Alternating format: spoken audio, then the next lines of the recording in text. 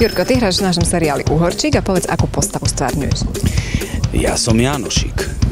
Ako inak? Však Juraj. No ja som Janošik, e, v tomto seriáli je veľmi, e, mohlo by to znieť ako hlavná postava, ja som to dokonca niekde aj čítal, že Juraj Rašla hral hlavnú postavu Janošikovi, ale nie je to celkom tak, pretože aj seriál sa volá Úorčík, čiže hlavná postava je tu vlastne Úorčík, čo je veľmi zaslúžené, pretože je to René Štúr, ktorý tu hrá dvojrolu, hrá tu aj Úorčíkovú sestru, hnusnú, starú, škaredú strigu Brigitu. Ale René to vlastne celé dal dokopy, René to celé napísal, René to celé vymyslel, René to produkuje, René to režíruje, v, nie celkom, režíruje to spolu s Michalom, alebo respektíve Michal to režíruje, Miško to režíruje a René to e, spolu režíruje, alebo sa k tomu vyjadruje. Tento projekt je práve zvláštny tým, že ľudia tu niečo vymyslia na tomto mieste a hneď sa to do toho seriálu vloží a to je to, čo hovorím, že René to režíruje, že nemôžem povedať, že by sedel v režii, keďže hrá, ale veľakrát sa vyjadri k situácii, urobme to takto, takto by to bolo lepšie, skúsme toto, vymyslíme toto a, a zrazu je to taký strašne živý organizmus. Ja som nikdy nič ešte podobné nerobil na Slovensku a vlastne nikdy som, nikde som také nič nerobil. Že je to vlastne špecifické práve tou spontánnosťou, ktorá na tom placi vzniká. Áno, je to veľmi špecifické spontánnosťou, e, nesmiernou talentovanosťou všetkých hercov, napríklad pána Malachovského, ktorý tu ide okolo nás, alebo Reného, alebo, alebo Majkala, budú Tomáša Bezdedu, Maťo Mihalčín tu hrá, ktorý je lídrom kapely Heleniné oči.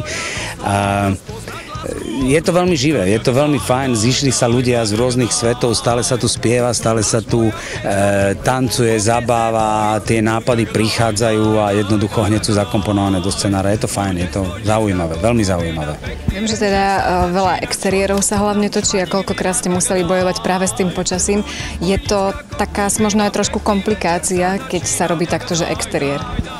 No to je problém vždy a už sme zrušili niekoľko filmovacích dní a to produkcia ako ja som nikdy nezažil takto náročnú produkciu. Ty si tu bola s nami niekoľkokrát a videla si, ako, sa, ako sú tu vozy, vozy, koče, kone, pohoniči, akrobati, parkouristi, komparzisti, kostýmy. Je to kostýmový film, kostýmový seriál. E, lana, kladky, vozíme sa tu na dlhých lanách, strieľame s lukou, šípou, mizneme v lese, objavujeme sa znovu, čiže je to veľmi trikové. Pozri, za nami stojí zelené pozadie. Dnes večer budeme robiť ďalšie scény, ktoré budú proste e, znovu trikom robené. Čiže je to nesmierne náročné na výrobu. A teraz si predstav, že všetkých týchto ľudí dáš dokopy a začne ti pršať. A ten filmovací deň, kto to zaplatí? Čiže je to aj ekonomicky, finančne nesmierne náročné. Je to brutálny projekt. Akože pre mňa, ja som nikdy nič takéto nerobil. Musím ti povedať, že mne keď René zavolal, e, zavolali mi, ako niekto im z toho vypadol, hej, ako Jánošik, čiže nebol som prvá voľba. A dal mi povedal, že no ale chlapec, hovor teraz, akože daj odpoveď, yes or no.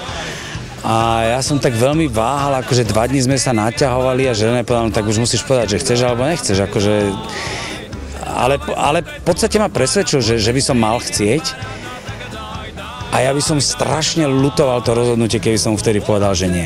Lebo tých ľudí, ktorých som tu stretol, tú prácu, tú atmosféru, ten pocit, to kamarátstvo, to, to nové, to, tú tvorbu, ako to už asi nikdy nezažijem. To som zažil tu a som za to veľmi vďačný. A nie je to bežné ani pravidlom vôbec? No, ako filmári sú podľa mňa v podstate vždy akože priateľní, akože dobré party, niekedy sa zide trošku lepšia, niekedy trošku horšia, ale toto je špecifické. To asi ti povie, veď aj ty sem rada chodíš. Aj ty sem rada chodíš, takže spolu sme zabludili v aute, v lese. E, takže vieš, že nám je spolu dobre a ako som za to vďačný.